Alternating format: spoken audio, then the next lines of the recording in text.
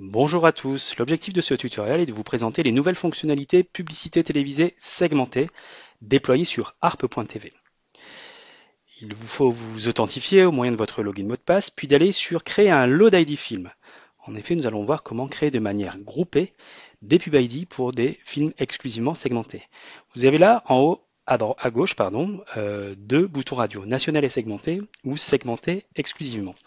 En cliquant sur segmenter exclusivement, vous accéderez à ce formulaire qui vous permettra de créer de manière groupée, en seulement quelques clics, autant de pub ID dont vous aurez besoin.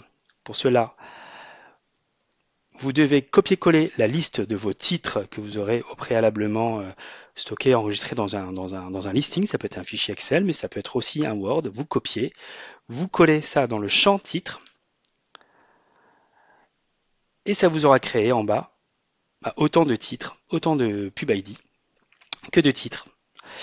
Euh, donc vous pouvez replier la liste ici, sélectionner un numéro de version, l'ensemble des données communes à l'ensemble de ces film ID, un produit, une durée qui leur sera aussi commune, un code secteur qui leur sera commun, et ensuite très important, vous allez spécifier un type de variation, majeur ou mineur.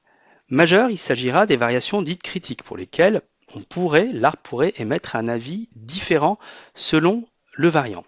Euh, il s'agit donc de variations d'ordre un peu plus importantes que les variations dites mineures pour lesquelles eh bien, l'avis rendu par l'ARP sera le même pour tous et d'ailleurs il sera automatiquement propagé pour tous les variants. Les juristes à l'ARP ne visionneront que le film primaire, à savoir le premier film du lot, et ce pour gagner du temps dans le traitement de vos demandes en plus de la création groupée qui permet elle aussi de gagner du temps.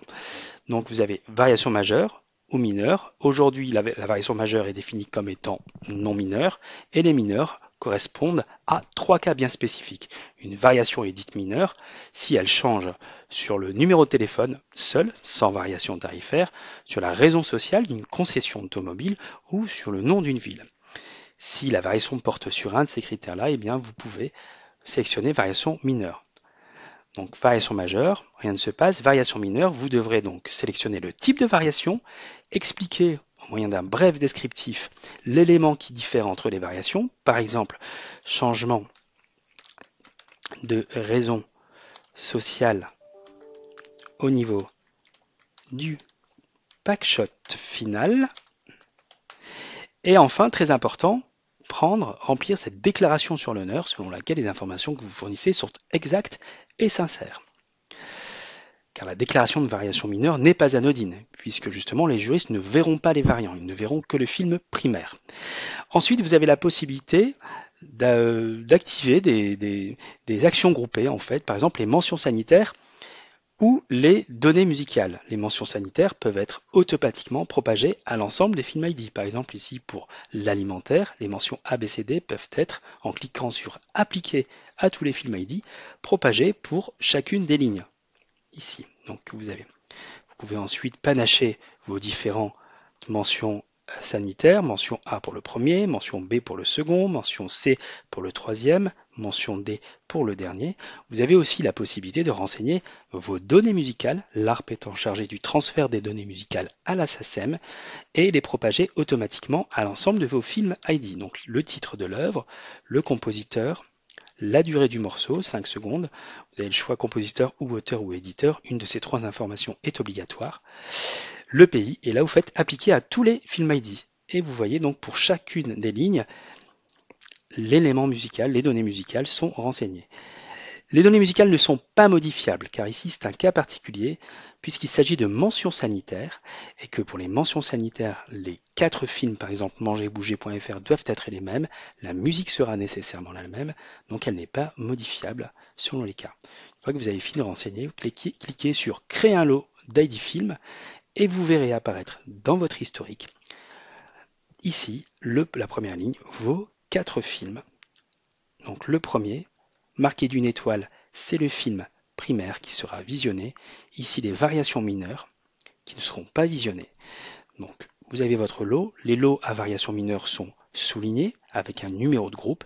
Les lots à variations majeures ne sont pas soulignés. La variation mineure au survol vous dit la variation, le type de variation est le numéro de téléphone qui change.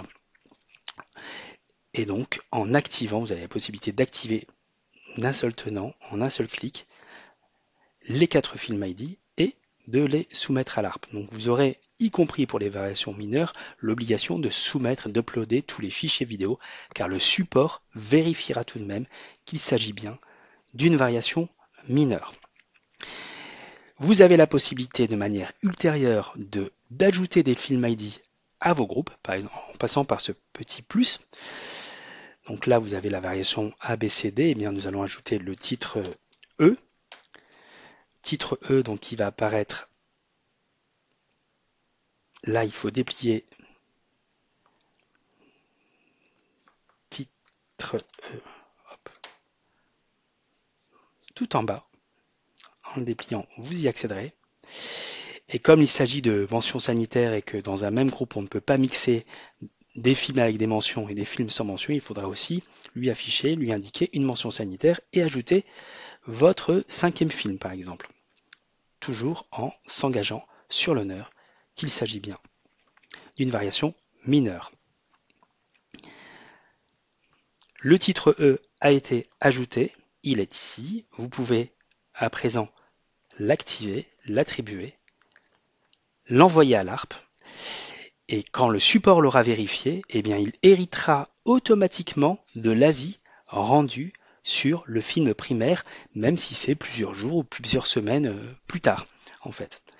Pour les variations dites majeures, à nouveau, l'ensemble des films devront être visionnés par les juristes.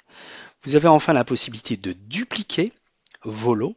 Trois choix vous sont alors offerts. Soit vous dupliquez spécifiquement cet ID film, ici le primaire, pour le rattacher à ce même lot, soit vous dupliquez cet ID film pour créer un nouveau lot, soit vous dupliquez l'ensemble des films ID pour créer aussi un nouveau lot. Voilà pour l'essentiel des fonctionnalités liées à la publicité télévisée segmentée. Si vous avez des questions, n'hésitez pas à nous appeler ou à nous contacter par mail à l'adresse support.arpp.org. À bientôt!